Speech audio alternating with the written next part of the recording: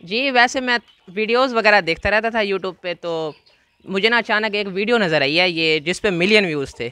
तो वो भी एक यूट्यूबर हैं, बिल्कुल करीब के हैं। तो मैंने उनको देख के बहुत इम्प्रेस हुआ हूँ। तो मैंने सोचा, अगर वो व्यूज़ ले सकते तो मैं क्यों नहीं ले सकता? तो मैंने वहाँ से स्टार्ट किया और, अल्हम्दुलिल्लाह आपके सामने आप हाँ नहीं नहीं, ये आपको अगर कुछ बोले ना, उसका जिम्मेवार मैं आऊँगा। ये बहुत हमारा टेम है और जितने भी परिंदे आपको नज़र आ रहे हैं, ये मेरे से मोहब्बत करते हैं। अच्छा। नहीं नहीं आप बेफिक्र हो जाएँ। आप आए आपको सेटअप दिखाते हैं। ये मैंने तकरीबन दो महीने पहले ना बिग हाउस बनाया क्योंकि छत मेरी छोटी सी है इसी वजह से मैंने सोचा को ये यहाँ बड़ा करूँ। अच्छा। इसके अंदर आप दिखाएँ हमारे पास मोर भी हैं रैबिट्स भी हैं तितर भी हैं और चकोर भी हैं। अभी फ़िलहाल तो यही कुछ है। इन और भी मज़ीद इस भरने की सोचा हुआ है। सबसे पहले मैं आपको बताऊँ मैंने ये जो काम स्टार्ट किया ना मैंने अपने दोस्त की छत से किया वो चीज़ें मेरी अपनी भी नहीं थी। सिर्फ़ एक देखने के लिए वाकई ये काम चलता नहीं चलता। और तीन वीडियोस डाल के मैंने ना छोड़ दिया। एक महीने बाद उसमें वीडियोस में देखा तो 50 के प्लस व्यू थे। तो वहाँ से मेरी अट्रैक्शन बढ़ी है। मैंने कहा, ये बहुत अच्छा काम है। तो काम मेरा यूट्यूब पे करना चाहिए। तो अल्हम्दुलिल्लाह अब बिल्कुल इंजॉयमेंट भी है, शौक भी पूरा कर रहे हैं, पैसे भी कमा रहे हैं। बस यहाँ तकरीबन दस बारह लाख लग गया।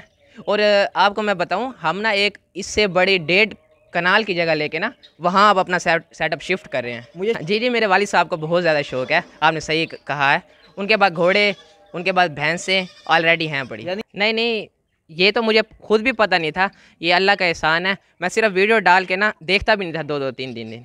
कोई लोग होते हैं ना वो वीडियो डाल देते हैं भाई व्यू नहीं आ रहे व्यू नहीं आ रहे। वो कभी कामयाब नहीं हो सकते। व्यू पे कम फोकस करें और अपने काम पे ज़्यादा फोकस करें तो फिर आपको कामयाबी मिलेगी। स्टार्टिंग में मैंने कोई दो लाख लगाया था। मैं वही आपको बात कर रहा हूँ, दोस्त ने भी हेल्प की और थोड़ी वालिद साहब ने भी हेल्प की।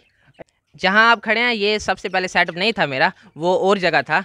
तो वहाँ भी मैंने मुर्गियों और कबूतरों से शुरू किया है और अल्हम्दुलिल्लाह आगे मेरा प्लान है घोड़े, हिरन, शेर, सब कुछ रखने का। ये सिर्फ़ अभी टैडी हैं बड़ी और मुझे शौक भी इन्हीं का है। छोटी छोटी होती हैं और बिल्कुल वाइट यार पेमेंट तो वैसे सही मैं आपको नहीं बता सकता। आप एक अंदाज़ा लगा लें पाकिस्तान के हिसाब से ना तीन वन टू फाइव। नहीं मैं आज तक नहीं थका और आगे कोई थकने का प्लान ही नहीं है। जब तक मेरे अंदर जान है मैं काम करता रहूँगा। फ़र्स्ट वीडियो ना मैंने अपने दोस्त के सेटअप पे बनाई है तो सिर्फ़ एक चेक करने के लिए मैं वायरल हो भी सकता हूँ नहीं हो सकता। तो उस वीडियो को मैंने दो मंथ नहीं देखा। जब मैंने देखा तो फिफ्टी के प्लस व्यू थे।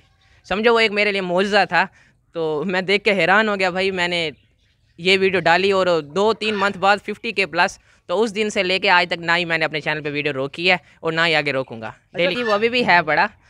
तो वो बहुत डेंजरस है बड़ा। आप ईगल से डर रहे थे उससे तो फिर आप घर ही चले जाओगे। बहुत लोगों का इंटरव्यू लेंगे इसका सबसे मुश्किल इंटरव्यू होने वाला। हेलो जिमी कैसे हो? नाजिन ये देखे ये जिमी यार इसकी शरारत नहीं खत्म हो रही गंजी की शरारत नहीं खत्म हो रही कैसे आप इसको पकड़ा हुआ देखे इतनी शरारतें कर रहा है कैसे संभालते हैं इसको? ये मेरे पास ना तकरीबन तीन मंथ का था तब से है। तो मेरे साथ तो इसका लगा हुआ है। भाई ये मुझे अपना समझो बाप ही समझते हैं। इस छोटी सी उम्र में आप बाप भी बन चुके हैं। हाँ समझो मैं अपने पेट्स का बाप ही हूँ। ये देखो जी बड़ा प्यारा है हमें भी कुछ कुछ करने डेला कुछ कुछ करने डेला। पाली पाली सोनी है सोनी किया हाल है ठीक है? कुल्फी खाती हूँ? ये मारता भी है नाजरीन। ये असल में ना मुझे जितने भी मेरे पास पेट्स हैं ना छोटों में से ना मुझे मंकी लेने का बहुत शौक था। लाइन का भी है वो तो रखेंगे इन मंकी मैंने कहा इसकी ख्वाहिश तो पूरी करनी चाहिए। इस जगह पे हो भी सकता था इम्पॉसिबल था। तो मैं इसको ले आया हूँ तो अब मेरे पास है। नहीं नहीं कोई भी कंप्लेन नहीं करता। और लोग खुश होते हैं। जिनके घर एक दो लोगों के घर गया सा, सात वालों के पास भी तो उन्होंने कहा भाई ये ना चावल लेके चला गया हमारे। तो हमें खुशी हुई है खुद आया लेके चला गया हमें कोई मसला नहीं है। तो सारों की इजाज़त से रखा हुआ है सारों की अच्छा। इजाज़त है। तरबूज दो तीन दफ़ा खुद ही ले आया यहाँ मुझे भी खिलाया और इसने भी खाया। ये मेरे से बहुत प्यार करता है और बहुत फ्रेंडली भी है बहुत ज़्यादा फ्रेंडली है।